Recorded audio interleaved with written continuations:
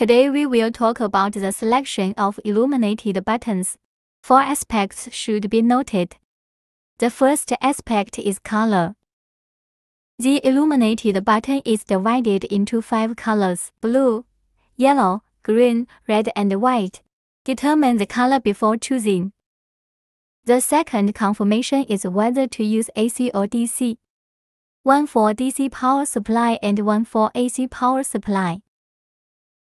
The other is that both AC and DC can be used.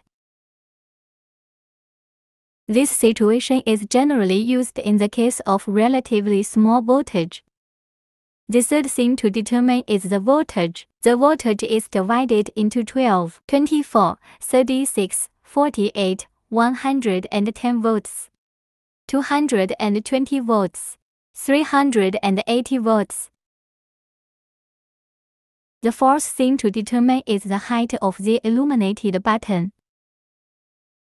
Like these two models, the height is similar because a lamp holder is added in the middle of them, so its height will be relatively high.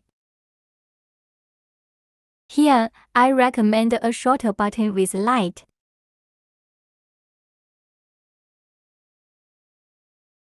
Its advantage is that the lamp holder is placed in the middle part. It is a three-piece top, and two contacts can also be installed. Well, that's it for the four knowledge points of the illuminated button.